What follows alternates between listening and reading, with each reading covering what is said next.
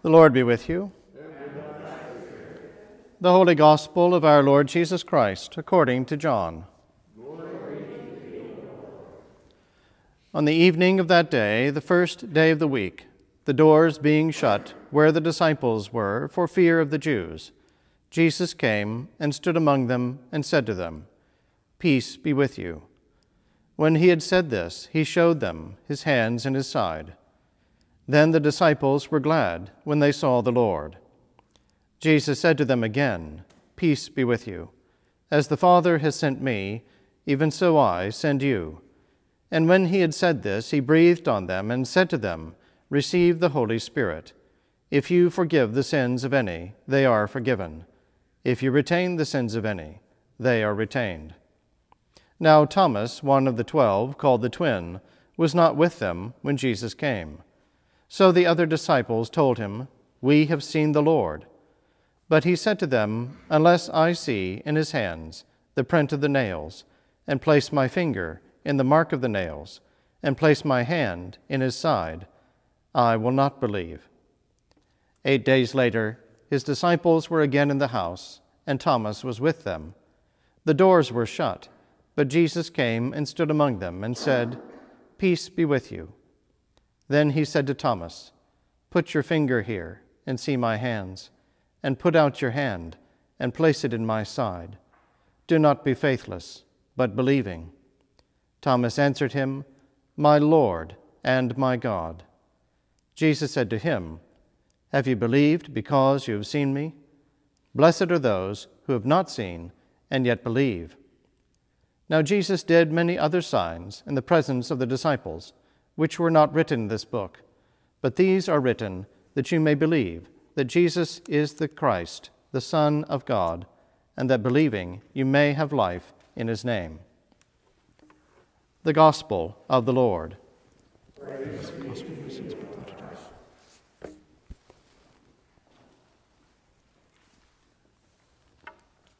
In the name of the Father, and of the Son, and of the Holy Ghost. Amen. Amen.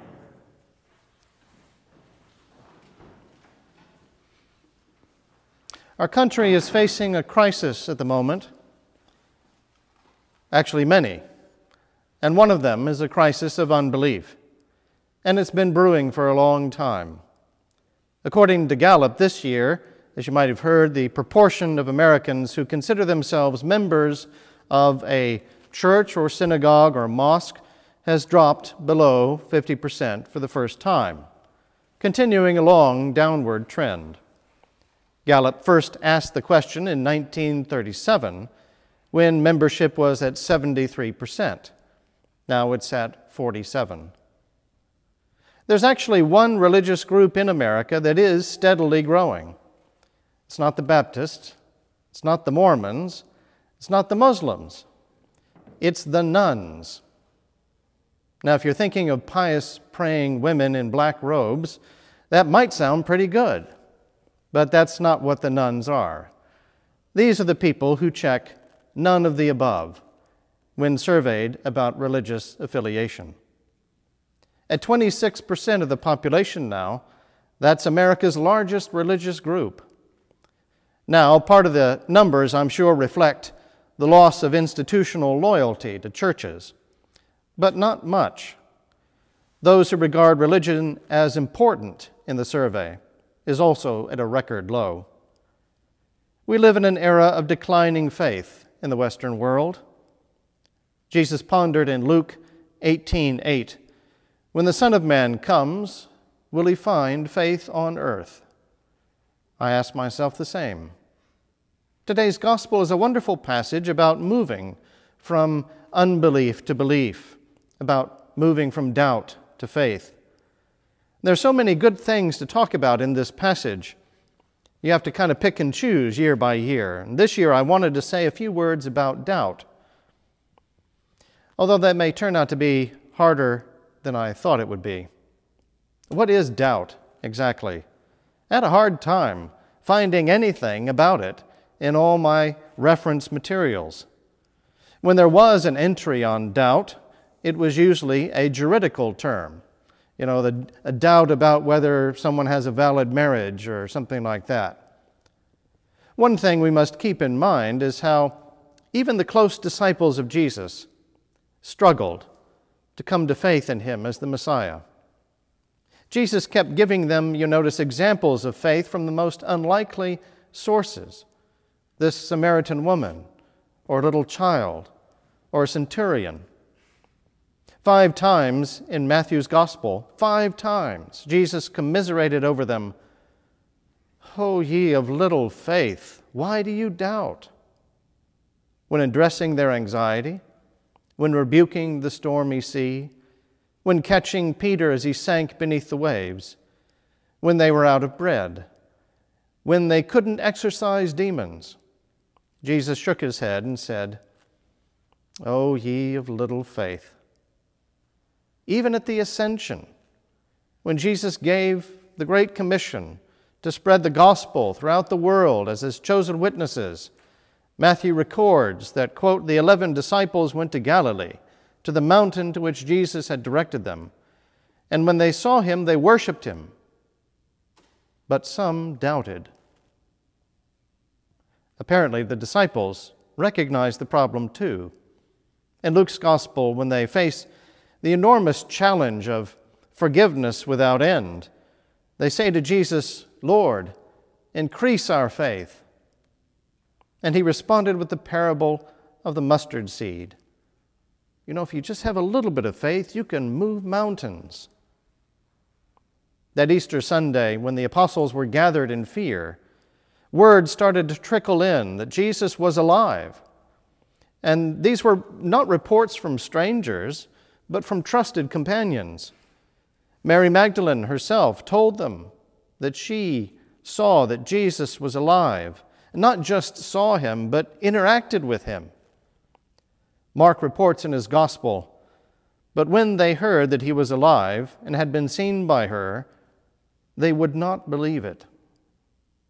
After this, he appeared in another form to two of them as they were walking into the country, and they came back and told the rest but they did not believe them.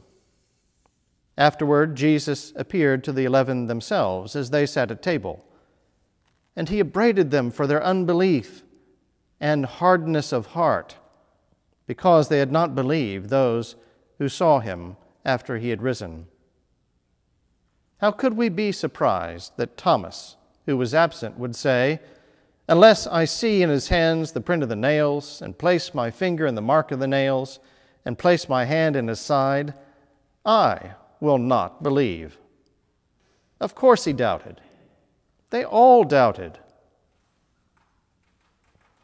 One thing we need to realize is that faith and understanding are two different things, though people often conflate the two. Faith seeking understanding was the epistemological method stressed by St. Augustine when it came to how do you know God. And faith seeking understanding became the motto of another doctor of the church, St. Anselm of Canterbury. In our rationalist culture, we tend to think that knowledge or science has to lead to our trust and willingness to take actions upon it. But this is never really how it works, as Anselm explained. Chronologically, faith always precedes understanding as when small children first trust their parents and believe what they say. It's only later, when they grow up, that they want to examine, perhaps, and understand the reality for themselves. We place our faith in things we don't understand all day long. I call my smartphone my magic phone. That's basically how it works. You know, you just touch it and it does things. I turn on the lights. I don't know how electricity works. I don't know how an electric motor works. But I know if you plug it in and you turn it on, it does. We place our faith in things we don't understand all the time. For a lot of things, hey, I'm fine with that. I don't need to know how everything works. I don't have to be able to wrap my brain around all the elements of my world in order to enjoy life. But for knowledge of God, we long to be able to fully understand, even as we have been fully understood. And faith beckons us to explore divine mystery. Faith still, though, has to come first. We don't have to be able to explain God, to be able to love Him, to commune with Him, to obey Him. But we want the understanding too, because you want to understand the people you love. On the other hand, we don't love them only because we understand them. In the words of St. Anselm, I do not seek to understand in order that I may believe, but rather I believe in order that I may understand. In describing his own faith journey in his Apologia, John Henry Newman put it this way in chapter 5 Many persons are very sensitive of the difficulties of religion. I'm as sensitive as any one of them.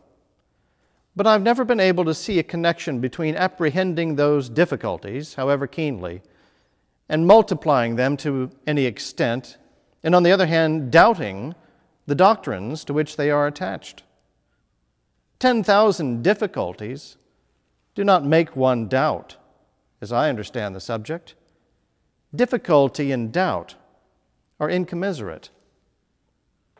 That is, Newman wasn't so disturbed that some doctrines didn't necessarily make sense to him. He couldn't fully understand them. Why should he be disturbed by that? He didn't have to figure it all out first. Newman had learned to trust God over the course of his life, and he was humble enough and willing to be taught the truth. Faith is a matter that relates to the will, whereas understanding relates to the mind. Understanding tries to answer the question of, like, how do we know that God exists? Faith tries to answer the question of whether we love God, about whether we will follow God and obey God. Our Lady teaches us the essence of faith in her fiat, her yes to God. When she received the angelic invitation to become the Mother of God, she did not respond by saying, Well, how do I know that God is real? Or, could you just prove to me that you're an angel first? She responded very simply, Let it be to me according to your word. Doubt is not really about our challenge to understand God, or even to have a knowledge of the historical facts and events of our religion. Doubt is about an unwillingness to trust God, a kind of spiritual stubbornness, an unwillingness to be taught, to learn, to grow to have faith. What Thomas was saying on that Easter Sunday is that he was not yet Easter ready. He was unwilling to be the Apostle Thomas, sent out to the far reaches of the East to be a fisher of men for the kingdom. The truth is that none of them were Easter ready on that Easter day, but their encounters with the risen Lord made them ready. It made them apostles. And when it was Thomas's turn, it made him ready. It made Thomas burst with that awesome expression of faith that devout hearts repeat every time they encounter the risen Lord in the elevated host at Mass, when he said, My Lord and my God. Perhaps the doubt experienced by Thomas and by all the apostles was a teaching moment and reminder that ultimately faith is a gift from God, a gift to be received. Faith is a virtue, a good habit infused in the soul at baptism. It is our spiritual rebirth, giving us new life by connecting us with God. It opens our minds to His truth and our hearts to His will. Faith comes from God and leads us back to God. Faith is what empowers us to call Jesus Lord and Savior. Blessed are those who have not seen and yet believe. Jesus is talking about you in the gospel. You have been given the precious gift of faith in the water of baptism. St. Paul wrote in his letter to the Ephesians, chapter 2, verse 8, By grace you have been saved through faith, and this is not your own doing, it is the gift of God. Faith is not of ourselves. It comes from the outside, it comes from above. And best of all, it's a gift and it's free. On our own, we could do nothing to save ourselves. We need the power of God. Only He can breathe new life into the spiritually dead. Only He can raise people from their graves. Only He can bring faith to those who doubt. Thomas the doubter was really Thomas the unwilling. Does that describe you? Have you perhaps lost a little bit of your faith? Do you need to be refilled with God's grace today? Well, it can happen. And the good news is, it's still a free gift. God can soften even a stony heart and make it like Our Lady's heart, saying, Let it be to me according to your word. God can enlighten the mind of the skeptic and the scoffer and help him come to the point of decision where he can say, God, I love you, even when I don't get it. God can bend even the stiff and stubborn knee and make it like that of Thomas, whose doubt vanished in the divine presence, and he testified to the truth that he was willing to receive. Jesus, you are my Lord and my God. In the name of the Father, and of the Son, and of the Holy Ghost. Amen.